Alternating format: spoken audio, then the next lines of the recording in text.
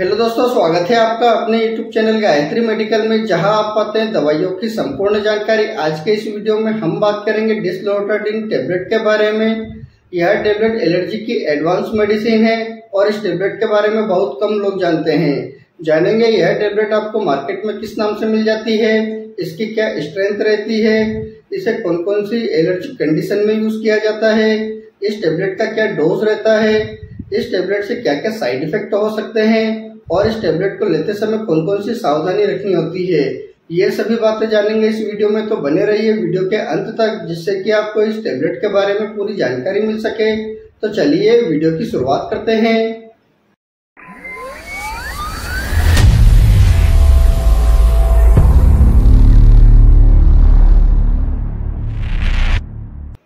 डिस्लोराडिन tablet की बात करते हैं तो यह एक एंटी हिस्टामिन क्लास की दवा है।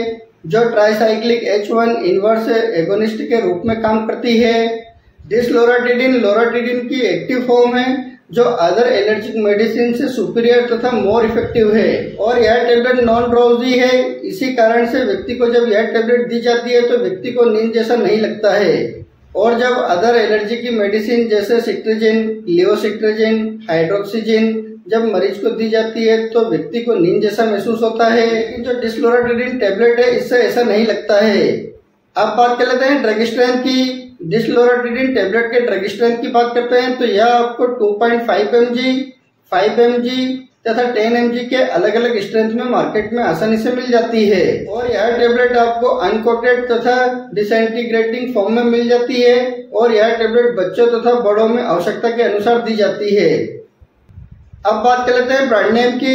डिसलोराटिडिन टेबलेट के ब्रांड नेम की बात करते हैं तो यह आपको मार्केट में बहुत सारे ब्रांड नेम से मिल जाती है, जैसे नियोकोप डिस्लोर डेजिट ये कुछ पॉपुलर ब्रांड नेम है। हो सकता है आपके एरिया में किसी और ब्रांड नेम से मिले तो आप उसे भी यूज़ कर सकते हैं। अब बात कर लेते हैं, इस टेबलेट का यूज़ किन किन कंडीशन में किया जाता है?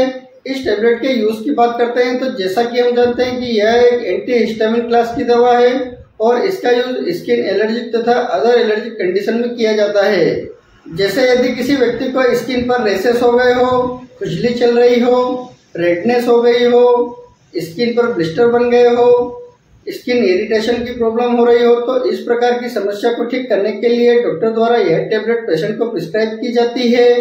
यदि किसी व्यक्ति को छोटे जहरीले कीड़े ने काट लिया हो, जैसे मधुमक्खी, चीटी, मच्छर या अदर और कोई जहरीले कीड़े ने काटा हो तो उस समय व्यक्ति की स्किन पर redness swelling itching burning sensation जैसी समस्या होने लगती है तो उसको भी ठीक करने के लिए इस टेबलेट का यूज़ किया जाता है। यदि किसी व्यक्ति को एलर्जी के कारण नाक बंद हो गई हो, नाक जाम हो गई हो, नाक में से पानी बह रहा हो बार बार छीके आ रही हो तो इस प्रकार की कंडीशन को ठीक करने के लिए इस टेबलेट का यूज़ किया जाता है। यदि किसी व्यक्ति को एलर्जी के कारण आँख में से पानी आ रहा हो रेडनेस स्वेलिंग इचिंग जैसी समस्या हो तो इस प्रकार की कंडीशन को भी ठीक करने के लिए इस टेबलेट का यूज़ किया जाता है। यदि किसी व्यक्ति को एलर्जी के कारण सूखी खांसी चल रही हो, सांस लेने में प्रॉब्लम हो रही हो, मौसम बदलने के कारण सांस लेने में प्रॉब्लम हो रही हो तो इस प्रकार की कंडीशन को ठीक करने के लिए डॉक्टर द्वारा यह टेबलेट पेशेंट को प्रिस्क्राइब की जाती है। ओवरऑल यदि किसी व्यक्ति को किसी भी प्रकार की एलर्जी हो रही हो तो उसको ठीक करने के लिए डॉक्टर द्वारा यह टेबलेट प्रिस्क्राइब की जाती है। अब बात कर लेते हैं इस टेबलेट से क्या क्या साइड इफ़ेक्ट हो सकते हैं। इस टेबलेट के साइड इफ़ेक्ट की बात करते हैं तो वैसे तो इस टेबलेट से किसी भी प्रकार का कोई साइड इफ़ेक्ट नहीं होता है। लेकिन यदि किसी व्यक्ति को इस टेबलेट से साइड इफ़ेक्ट होता है तो उसको कुछ कॉमन साइड इफ़ेक्ट हो सकते हैं, जैसे nausea vomiting abdominal pain headache dizziness sleepiness dry mouth gastric irritation weakness इस प्रकार के कुछ कॉमन साइड इफ़ेक्ट हो सकते हैं। इसके अलावा अगर और कोई साइड इफ़ेक्ट होते हैं तो इस टेबलेट को लेना बंद करें और अपने डॉक्टर से कंसल्ट करें। अब बात कर लेते हैं, इस टेबलेट का क्या डोज रहता है और इसे कितनी मात्रा में दिया जाता है? इस टेबलेट के डोज की बात करते हैं तो इस टेबलेट को व्यक्ति की बीमारी तथा एज और वेट के हिसाब से इस टेबलेट का डोज दिया जाता है। इस टेबलेट के कॉमन डोज की बात करते हैं तो एडल्ट व्यक्ति को पाँच एम की टेबलेट दिन में एक बार लेने की सलाह दी जाती है। और बच्चों के डोज की बात करते हैं तो यदि बच्चे की उम्र छह साल से लगाकर बारह साल है तो उसे टू पॉइंट फाइव एम की टेबलेट दिन में एक बार दी जाती है। और बच्चों को डिसएंटीग्रेटिंग टेबलेट दी जाती है, जो कि पानी में आसानी से घुल जाती है और बच्चों को लेने में आसानी होती है। इसीलिए इस टेबलेट को डिसएंटीग्रेटिंग तथा अनकोटेड फॉर्म में बनाई जाती है और इसकी एक टेबलेट का असर 24 घंटे तक रहता है। और इस टेबलेट का टाइम ड्यूरेशन की बात करते हैं तो इस टेबलेट को तीन दिन से लगाकर सात दिन तक दिया जाता है। और यदि किसी व्यक्ति को सात दिन में ज़्यादा फ़ायदा नहीं मिलता है तो उसे डॉक्टर द्वारा लंबे समय तक भी दी जाती है। अब बात कर लेते हैं प्रिकॉशंस की। इस टेबलेट के प्रिकॉशंस की बात करते हैं तो यदि किसी व्यक्ति को इस टेबलेट से किसी भी प्रकार की कोई प्रॉब्लम होती है तो आप इस टेबलेट का दोबारा यूज़ न करें। यदि किसी बच्चे की उम्र पाँच साल से कम है तो उसे यह टेबलेट बिल्कुल भी नहीं दी जाती है।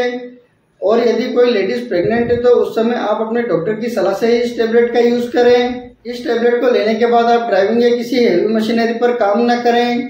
यदि आप किसी भी प्रकार की कोई मेडिसिन का यूज़ करते हैं, या आपको किसी भी प्रकार की कोई प्रॉब्लम हो तो आप अपने डॉक्टर को ज़रूर बताएँ।